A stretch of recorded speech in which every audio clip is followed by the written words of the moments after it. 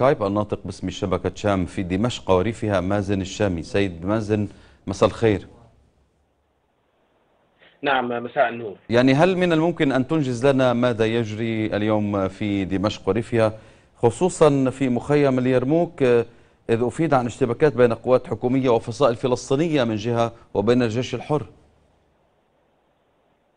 نعم بالفعل منذ الصباح وكتائب الأسد تحاول اقتحام حي أو مخيم اليرموك والجيش الحر يصد هذه الاقتحامات بالإضافة لحي القابون الذي بدأ القصف عليه منذ قليل. أيضا حي برزة والتضامن بالاضافه لأحياء جوبا القدم التي تعرضت لقصف مدفعيه الفوزيكا وخاصة على منطقة المادنيه وفجر اليوم جرت اشتباكات عنيفة في محيط فرع المخابرات الجوية آه، على مداخل آه، بلدة السبينه آه، بالنسبة للغوطة الشرقية هي منطقة عسكرية بامتياز يعني كتائب الأسد تصب غضبها اليوم على بلدات عده فقد شهدت اليوم بلدات حزة وصقبه وزملكه آه، بالإضافة يعني هذه المناطق اللي تعرض اليوم لغارات جوية بتتزامن مع قصف يستهدف بلدات دوما وحمورية آه، براجمات الصواريخ وقذائف الهواء وسقوط العديد من الشهداء وعشرات الجرحى.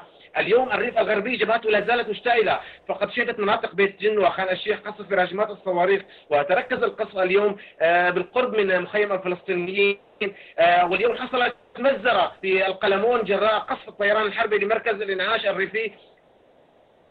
قدر سقوط ثمانية شهداء على الأقل وهناك العديد من الجرحى وفجر اليوم الجيش الحر يقصف إدارة الدفاع الجوي بالمدفعية الثقيلة وقذائف الهاون وذلك ردا على محاولة اقتحام بلدة مريحة التي صد فيها الجيش الحر اقتحام البلدة فيما لا تزال مناطق السيدة زينب تقصف آه، بكافة أنواع الأسلحة ومركز القصف كان اليوم من مراكز تجمع حزب الله ولواء والفضل العباس وتم تسجيل تسجيل يعني سقوط العديد من القذائف آه، والصواريخ والصواريخ كان نوعها آه، داوود. آه، أيضا في مدينة الزبداني كان هناك قصف عنيف مركزه حاجز الفيلا بالإضافة لحاجز خدام وأيضا كان هناك قصف بقذائف الهون مركزه وادي قاف نعم.